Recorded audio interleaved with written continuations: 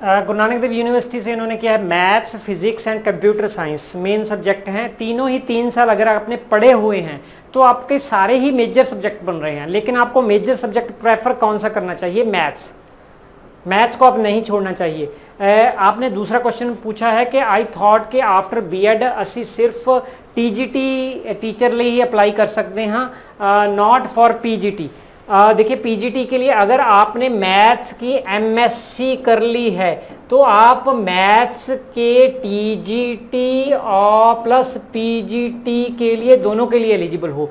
आप कर सकते हो, ये रॉन्ग है आपकी बात। जो आप सोच रहे हो कि आप पीजीटी के लिए एलिजिबल हो, लेकिन आपको उस सब्जेक्ट में पोस्ट ग्रेजुएशन की हुई होनी चाहिए। फॉर एग्जांपल मैथ की एग्जांपल दी है। अगर कंप्यूटर साइंस है तो एमसीए आपकी की हुई होनी चाहिए तो आप पीजीटी कंप्यूटर साइंस में जा सकते हो। फिजिक्स में की हुई है तो आप फ़िज़िकल साइंस में जा सकते हो। अब आपको ये चूज़ करना है कि आपने इन तीनों में से, तीनों आपके मेजर बनते हैं तो मेरे लिए बेस्ट कौन से हैं? बेस्ट क्योंकि जॉब इसकी ज़्यादा है, ये बनते हैं। फिजिक्स आप लेते हो तो आपको पीजीटी के लिए ही जाना पड़ेगा टीजीटी के लिए पीजीटी के लिए। टीजीटी के लिए एलिजिबल नहीं हो क्योंकि इंटीग्रेटेड सब्जेक्ट है, एक साइंस और पढ़ी होनी चाहिए, वो केमिस्ट्री बायोलॉजी आपने नहीं पढ़ी। आप सिर्फ़ ये सब्जेक्ट लेते हो फ़िज़िकल साइंस बीएड में तो आप पीजीटी के लिए एलिजिबल हो। उसके बाद आपको एमएससी भी फ़िज़िकल साइंस इसी में करनी पड़ेगी। दैट इज़ वाई इसको डिस्करेज कर सकते हैं। अगर आप सोचते हो इसमें इंटरेस्ट है नॉलेज है ज़्यादा तो इसको प्रेफर भी कर सकते हैं। कंप्यूटर साइंस में आप टीजीटी के लिए एलिजिबल हो एमएससी कर ली है तो एमसीए कर ली है तो आप पीजीटी के लिए एलिजिबल है। तो आपका ये रॉन्ग बिलीफ है। आ, आप प्रेफर क्या करना चाहते हो वो आपने आ, देखना है क्योंकि इसके एडिशनल साइंस के देने मेरे ख्याल में डिफ़िकल्ट हैं। तो मैथ्स कंप्यूटर आपका मेरे ख्याल में बन रहा है बेस्ट इसके अलावा लैंग्वेज भी ले सकते हो आपके पास हैं। तो लैंग्वेज के एडिशनल पेपर आपको देने पड़ेंगे। तीन साल के बीएड के साथ ही हो जाते हैं, लेकिन गुनानक देव यूनिवर्सिटी करवाती है कि नहीं करवाती, ये क्लियर नहीं है अभी तक।